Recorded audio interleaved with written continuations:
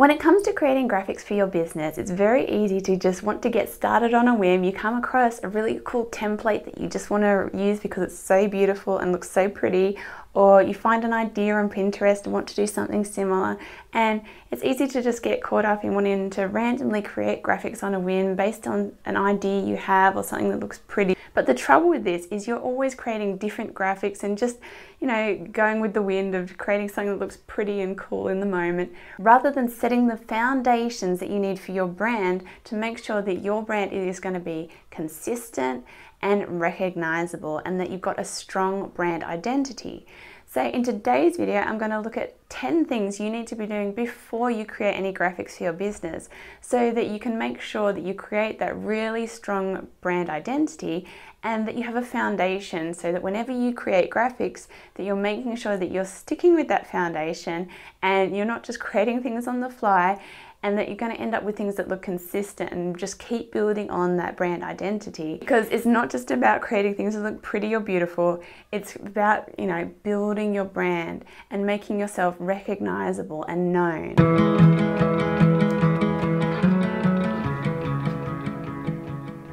Just imagine if one of the big companies like Coca-Cola or Apple just one day found this really cool template on Canva for a poster and thought, oh, that's really cool. Let's make a poster for our new campaign using this template. And they just stuck with all the default you know, images and text and just dropped all their information in and then put it out there. Don't you think that will throw people off a bit?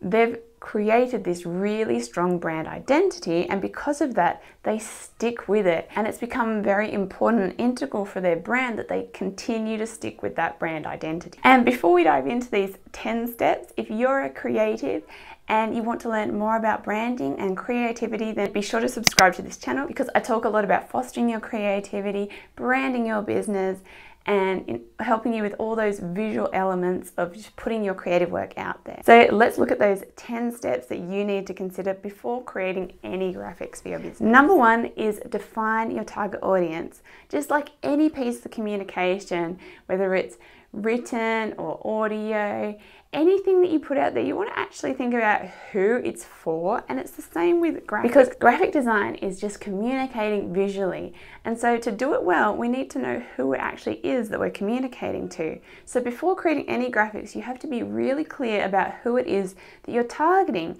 and be sure that the way you're doing your graphics is going to resonate with those people, and they're going to love it, and they're going to identify with it. Because if it doesn't work for them, then you're not going to be attracting the right people. Number two is having a very clear visual style, which means having a mood board that whenever you're creating graphics or anything new for your visual branding, that you've got something to go back to to make sure that everything always has that same feeling and vibe. Having a style board that you can return to and pull out the different elements that you need, such as your logo and colors, Basically, you need to start with that mood board and have that overall visual style, and then you'll always be returning to that when you're creating graphics. Number three is having a set color palette. It's so important that you have particular colors for your brand and that you actually stick with them and aren't constantly changing them up.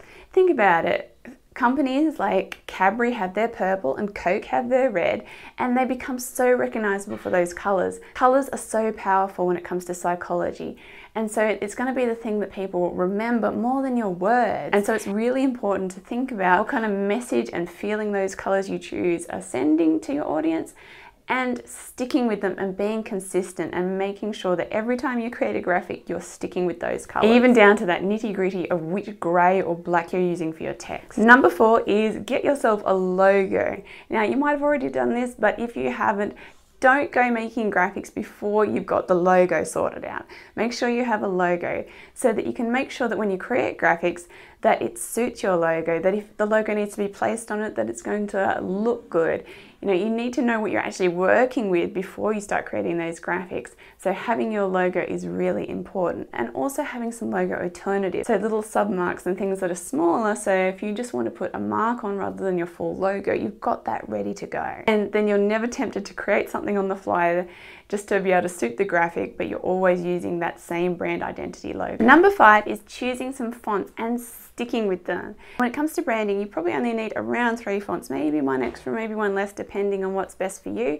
But three is around the average that's ideal for a brand and stick with them. So think about a font that's going to be great for headers, think about a font that's going to be great for body copy and stick with them because just like colors, people will start to recognize the font you're using all the time and it will start to become identified as part of your brand. And I know there's so many awesome fonts out there and it can be so tempting to come across some awesome fonts and want to use them in some graphics for your business so you've really got to say to yourself, these are my business fonts and stick with them. So you're not tempted to play around and start grabbing random fonts. Number seven is deciding exactly what graphics you need. If you have the clarity about what you actually need, then you can make it a lot more streamlined and easy for yourself to get those graphics done.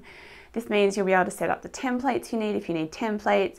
It means if you want to hire out some graphics, you'll know exactly which ones you want to be hiring out and which ones you want to do yourself it just makes it a lot easier process to figure out what you need and then making sure that they're all consistent and that they all have a similar feeling and layout. So if you check out in the description box below, I have a link where you can download a freebie for a checklist, which will help you go through that and work out exactly what you need for your business and also so that you can decide which things you want to tackle yourself and which things you want to hire. Number eight is creating templates. So this will so this has two great purposes. One, you won't be recreating graphics over and over again. You're going to make your life so much easier because every time you need to create a graphic, you can use a template. And secondly, it's going to help you be more consistent.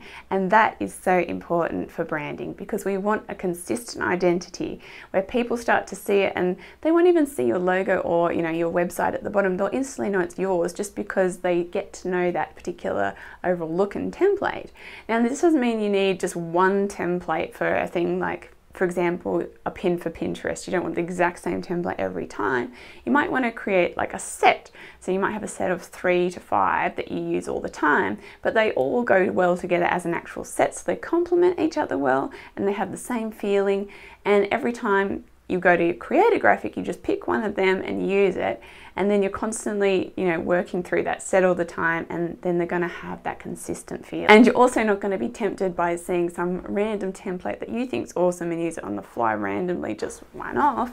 You've got your own to use and you'll just keep with them. Number nine is finding stock photos and an ideal source. So when it comes to your photography for your brand, you want to be sure that they all go well together and they all complement your brand feeling.